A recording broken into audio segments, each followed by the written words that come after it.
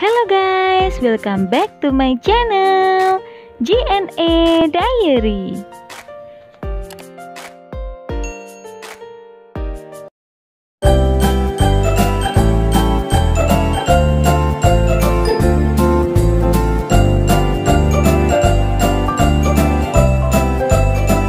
Hari ini saya nak membuat ice cream lilin homemade atau loli ice cream yang dibalut dengan coklat dekat tepi dia. Sedap tahu. Tengok ya. Oke guys, jadi macam ni ya. Dekat tepi tu semua coklat, baru yang dekat dalam tu yang ice cream putih dia. Pasti ramai budak-budak suka. Jom kita buat sama-sama.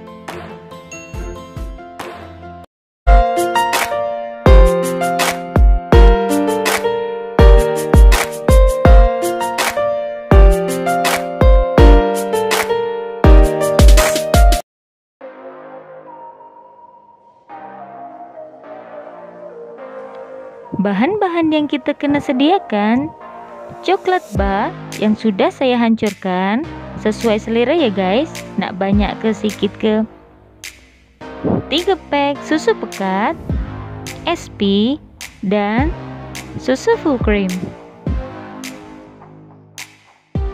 Langkah pertama Kita masukkan 250 ml susu full cream 3 pack susu pekat dan setengah sudut teh SP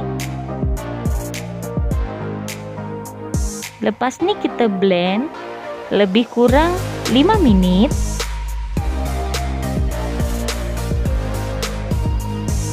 selepas 5 menit kita tuang ke dalam bekas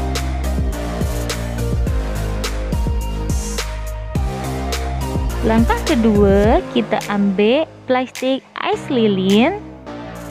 Kita masukkan coklat yang sudah saya hancurkan tadi. Sesuai selera ya guys, pasal saya suka coklat, jadi saya letak banyak.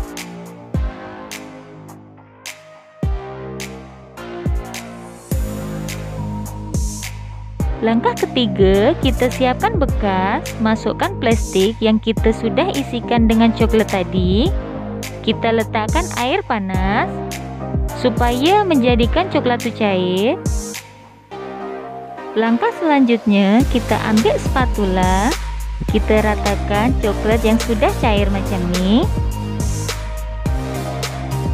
Lepas tu kita ambil corong minyak kecil macam ni, kita masukkan ramuan es krim putih tadi ya guys.